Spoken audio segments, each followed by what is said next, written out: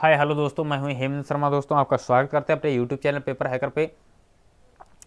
आज की इस वीडियो में दोस्तों मैं आपके लिए एक, एक खास पेपर लेके आया हूँ जो कि दोस्तों एलएलबी का है जो कि थ्री ईयर से थ्री ईयर से स्टूडेंट वाले हैं उनके लिए है दोस्तों थर्ड सेमेस्टर का है। थर्ड सेमेस्टर का दोस्तों 2019-20 का एग्जामिनेशन पेपर है जो कि दोस्तों फ़र्स्ट पेपर है। ठीक है ना दोस्तों? ये फ़र्स्ट पेपर है, इसमें देखेंगे दोस्तों हमारा टाइम जो होता है वो हमारा तीन घंटे का होता है, इसमें मैक्सिमम मार्क्स जो होते हैं वो हमारा कितना होता है दोस्तों? नब्बे नंबर का होता है। इसमें देखेंगे एक नोट दिया है नोट क्या दिया है दोस्तों? उसको पढ़ेंगे। किन्हीं पाँच प्रश्नों के उत्तर दीजिए।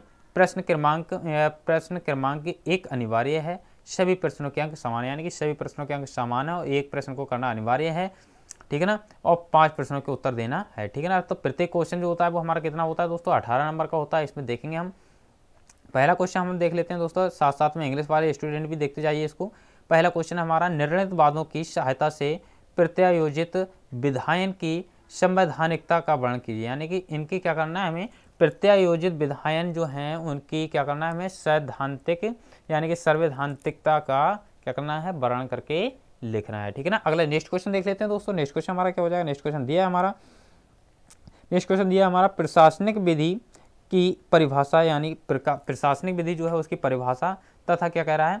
प्रकृति एवं क्षेत्र का वर्ण कीजिए। यानी कि और इनकी प्रकृति और क्षेत्र के बारे में भी हमें बताना है। ठीक है ना? उसके पूरा वर्ण करके बताना है। अगला नेक्स्ट क्वेश्चन देख लेते हैं दोस्तों। नेक्स्ट क्वेश्चन हमारा क्या हो जाएगा? शक्ति पृथककरण सिद्धांत की आलोचनात्मक व्याख्या कीजिए। यानी कि इनकी आलोचनात्मक व्याख्या करना है। फिर कह रहा है, भारत में एक किस सीमा तक लागू है? उसके बारे में भी बताना है। ठीक है ना? अगला नेक्स्ट क्वेश्चन देख लेते हैं दोस्तों। नेक्स्ट क्वेश्चन क्या हमारा? नेक्स्ट क्वेश्चन दिया है हमारा। निर्णित वादों की सहायता से पक्षपात के विरुद्ध नियम को व्याख्या कीजिए यानी कि नियम की व्याख्या की, यानी कि पक्षपात के विरुद्ध।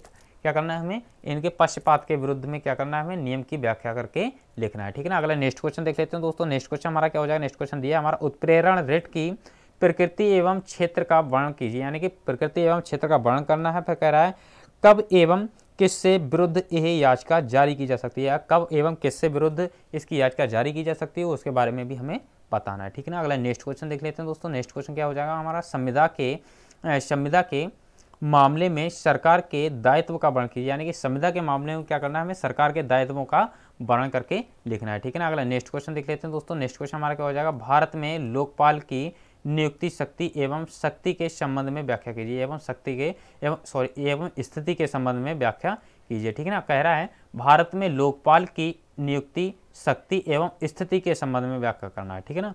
अगला नेक्स्ट क्वेश्चन देख लेते हैं दोस्तों। नेक्स्ट क्वेश्चन हमारा क्या हो जाएगा?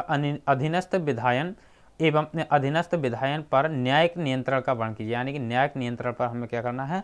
वर्णन करके लिखना है, ठीक है ना? अगला नेक्स्ट क्वेश्चन देख लेते हैं दोस्तों। नेक्स्ट क्वेश्चन हमारा क्या हो जाएगा? नेक्स्ट क्वेश्चन दिया हुआ है। नेक्स्ट क्वेश्चन क्या दिया है दोस्तों? उसको देखेंगे।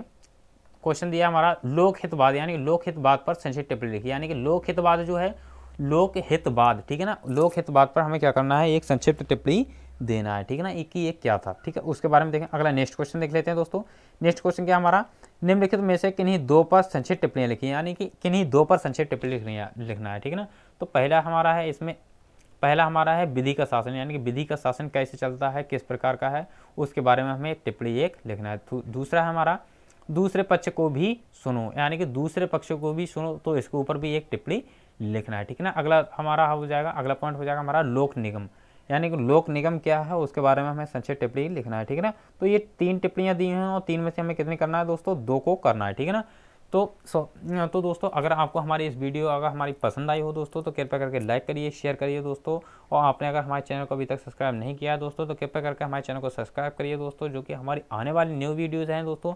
आप तक पहुँचें दोस्तों सबसे पहले, और अपने दोस्तों को, फ्रेंडों को, और दोस्त और जो है अपने भाई बहनों को, अगर कोई भी आपके इंटरमीडिएट से या जो है यूपी बोर्ड्स में या फिर यूनिवर्सिटियों में जो हैं दोस्तों तो उनको बताइए दोस्तों कि हमारा यूट्यूब चैनल पेपर हैकर जो है दोस्तों बहुत अच्छी वीडियोज़ डालता है दोस्तों। तो उन लोगों को भी जागरूक कीजिए जो कि आप इस बार को, इसको एक बार ज़रूर देखें दोस्तों, क्योंकि बहुत ही इंपॉर्टेंट क्वेश्चन इसमें पड़े हुए हैं दोस्तों। अच्छा दोस्तों, मिलते हैं कल एक शॉर्ट ब्रेक के बाद दोस्तों। जय हिंद।